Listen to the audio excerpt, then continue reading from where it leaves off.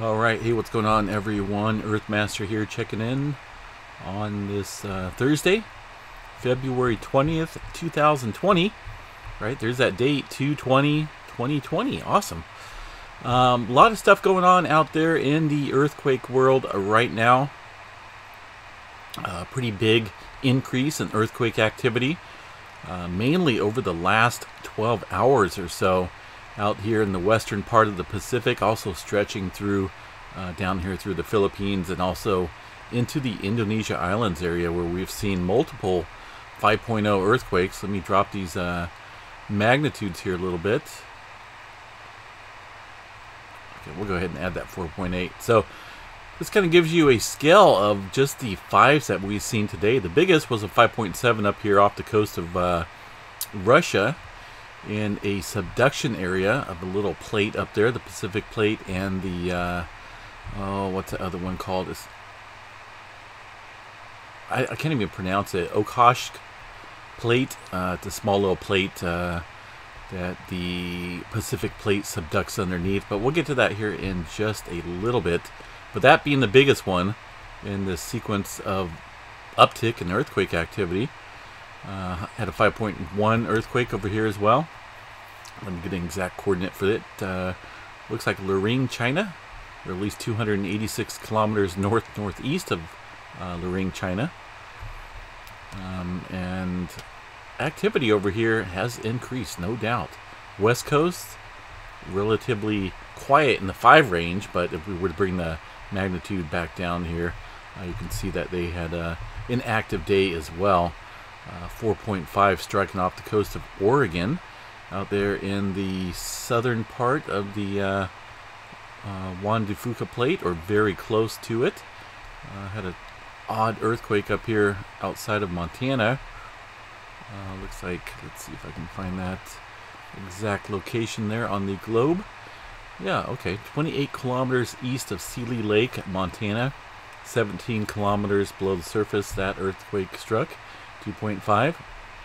Uh, of course, excuse me, no stranger to earthquake activity up there. Uh, but I will note that Yellowstone is showing a little bit of um, swarming going on here. Uh, nothing big. It has been kind of relatively light um, over the past day or so here. This is the overview of Yellowstone National Park here, the seismograph stations themselves uh, in Wyoming. And you can kind of see, if I can make that a little bit bigger, put that over there, a little bit of swarming in the northwest corner of the park.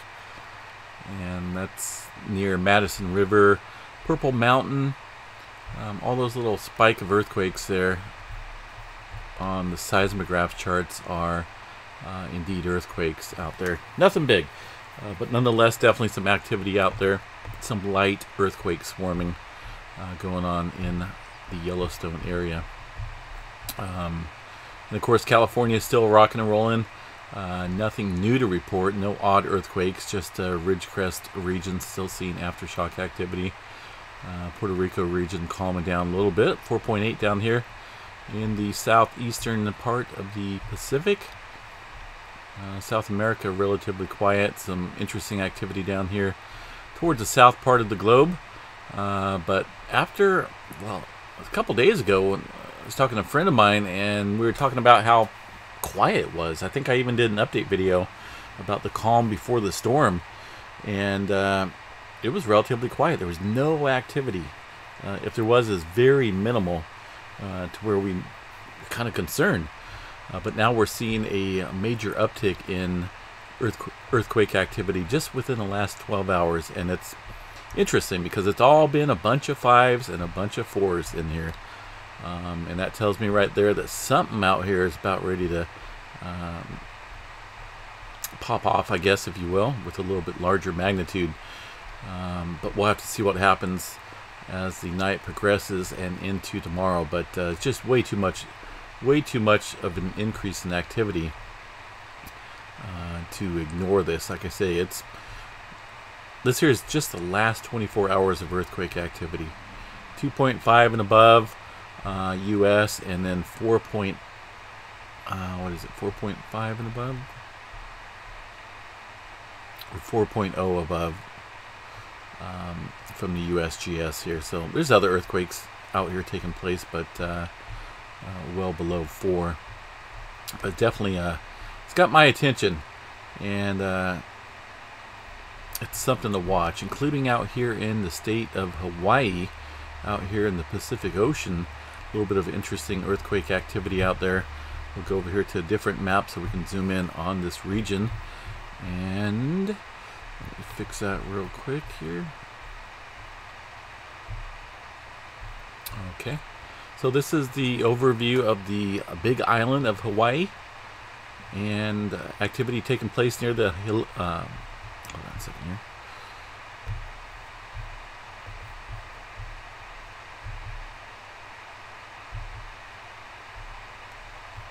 zoom in here on my side. It's super small, and I'm not for sure why it did that.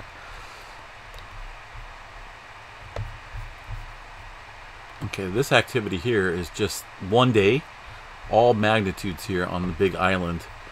Um, and it's pretty much confined in an area near the, uh, uh, man, I have problems pronouncing that.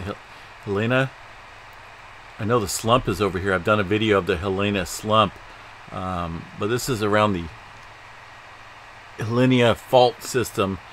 Um, all these little faults here kind of seeing a little swarming of earthquake activity there, and it's rather deep as well. We're seeing activity mainly down around uh, 37 kilometers or so below the surface. So a little bit of uh, strange movement going on there. No surface quaking. Uh, so potentially we could see some um, activity in the volcanic uh, department like I say, that's pretty much just uh, one day right there. And that's kind of a kind of a big deal there when we're seeing some deeper activity like that in that region. So kind of keeping an eye on that area for sure. Off the coast here of the Big Island, we're seeing uh, well that most recent earthquake right there. In an undersea or underwater uh, ocean volcano down there on the surface. That's this 2.5. Right there, 2.5. This one a little bit shallower, striking at about 10 kilometers below surface there. And this system, one second here. Loihi. I looked up that pronunciation. Loihi. Yes, I did. Otherwise, I was going to pronounce it like Loihi or something like that. So anyway, I looked it up. I'm tired of pronouncing stuff wrong, but Russian stuff, I just cannot, I cannot pronounce the Russian words for the life of me, or Chinese. Uh, it's, it's hard to, it's hard to spit those words out, I guess, if you will. Anyway, Loihi, Loihi is a seamount or underwater volcano on the flank of Mauna Loa, the Earth's largest shield volcano. Now, this earthquake right here is striking really close, if not right on top uh, we're pretty close to that area of the volcano that I just mentioned there, Loihi. Um, I did a little bit of looking around on it, and it's like I said, it's an underwater volcano down there on the ocean floor, and it's. Uh, I guess it had some earthquake activity back in 1996, 97, where they had about 4,000 earthquakes or so. Um, and uh, yeah, about 4,000 events. I was just reading here on the USGS website here of, of volcanoes. So seeing earthquake activity out there, not uh, not a big deal, but it is a big deal when we're seeing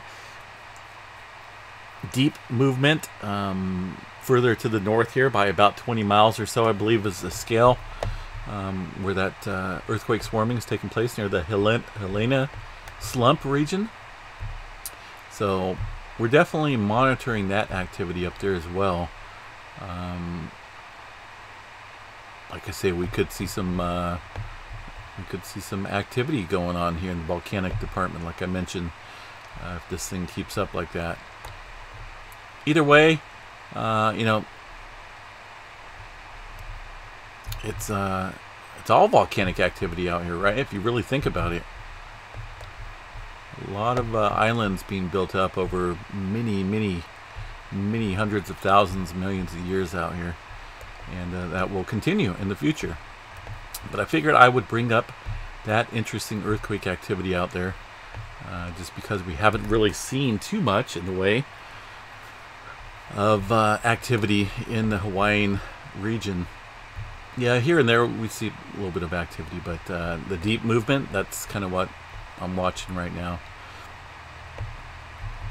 Uh, excuse me, I thought I had hiccups. That's not good. Uh, swarming in over here to California. Nothing really new to report. I mean, we're still seeing pretty much the same activity that we've seen uh, during the last update video. Small mi uh, minor earthquakes, aftershocks up there near Ridgecrest.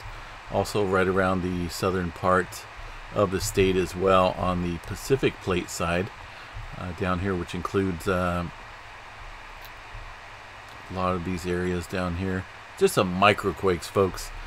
Uh, nothing really to report in that area. And as we travel up along the San Andreas Fault section there, there's a little cluster of, of quaking going on along the creeping section there. Um, wouldn't feel too concerned about that right now. And here's that uh,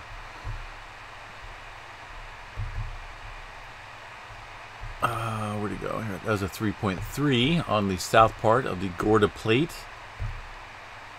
I know we had a bigger one up here off the coast of Oregon. Where did it go?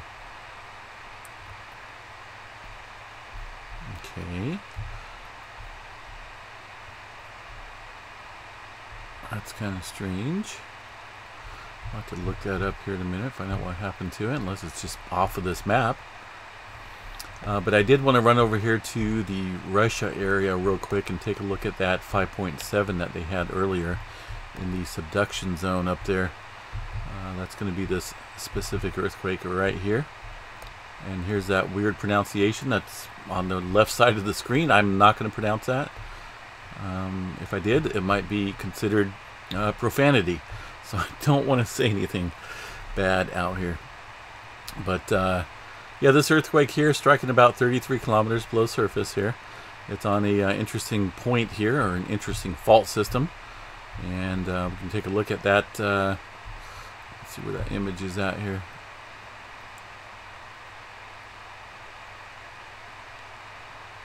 Hold on a second here. Trying to get a little bit better view here. Okay, see the... Okay, I guess you can kind of make this out here on this image. Let's get rid of that. See if I can make this a little bit bigger. Okosh plate? I'm guessing that's how you pronounce it. Up here to the north right here. This is kind of where we're seeing that uh, earthquake activity. And this image is not the best when it comes to viewing.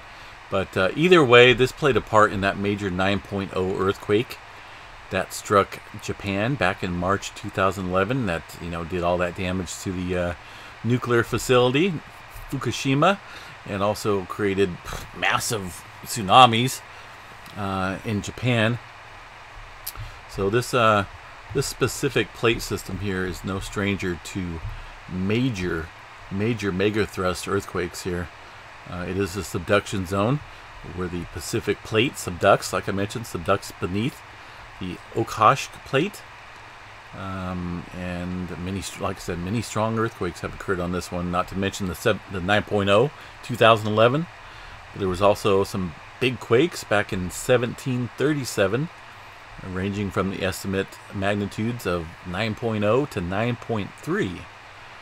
Um, and that was called the Kamacha Kamachaka earthquakes. Uh, also, back in 1952, they had a 9.0 within that region as well. So, strong earthquakes can occur uh, in this region relatively uh, rapidly. It is a subduction zone.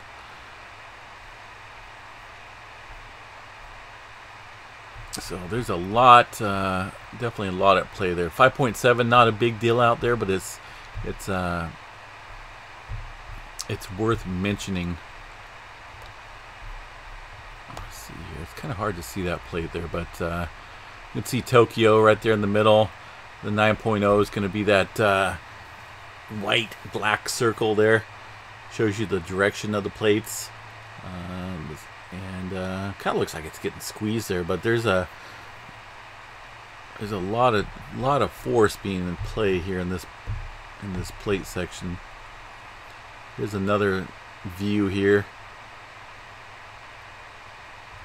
Let's see here. Oh gosh darn it. I'll get it right. I'm tired. I'm just my nephew wears me out, man. Little little kids running around, just staying active.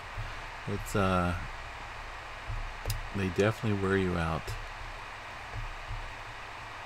So here's another view, folks. North American plate, Pacific plate. You got the Aleutian, West Aleutian area over here towards the east. Um, so that whole plate right there, the darkened shadow, I should say, um, is the Okhotsk plate. I'm pretty sure I'm pronouncing it wrong. I should have looked it up, but that one I just wasn't even. I don't know. I was just just gonna go with that pronunciation. So it is what it is. Uh, the blue arrows kind of look like a cold front, right? The blue sharp arrows along the line.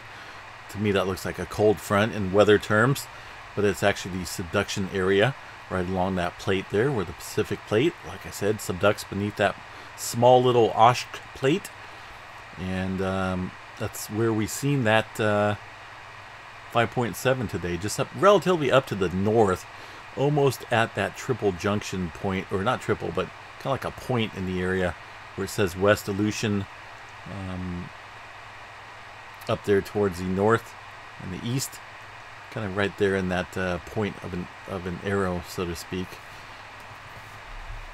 so I'll drop this so you guys can see just inland though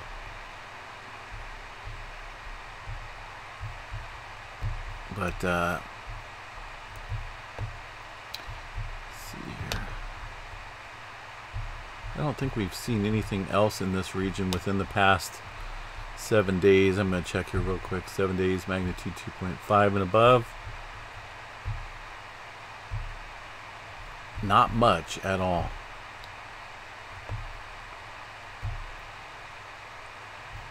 And this one being, this one today being the biggest, 5.7. Uh, so it's something to watch, folks, with all this increased earthquake activity. Um, especially out here in the Pacific Plate region and uh, in through the Indonesia area as well as the Philippine Islands there seeing the 5.4 um, so just a big increase and uh, something big. Feels like something big about ready to brew out here. Uh, I was just talking about Puerto Rico calming down. Now they just had a 3.0 um, but either way activity in this region and Puerto Rico area has somewhat quieted down compared to recent weeks, and that is a good thing for the folks over there.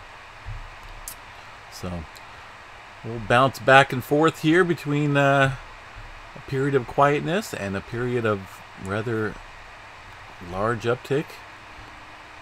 And uh, we'll see what happens here. I will be on the stream most of the night monitoring. Like I say, it almost just seems like something that's brewing towards something uh, pretty big here in this area. Not going to pinpoint, not going to predict, but uh, it's definitely worthwhile to mention that uh, it could it could uh, could be building up out here. Some of these are pretty deep as well. Uh, let's see what this five point. Uh, well, there's a couple deep ones right there.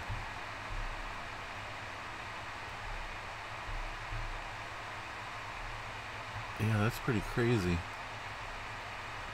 Uh, anyway, folks, um, I'm to jump off here. And uh, like I say, we'll keep the stream up and rolling. I will do some updating if uh, it is warranted out here, uh, which I think it will be um, rather soon. Maybe tonight, maybe uh, tomorrow morning. Either way, uh, we'll be here on the live stream monitoring and kind of keeping an eye on things here. So. Hope everyone has a great day out there, and uh, we'll chat you guys a little bit later.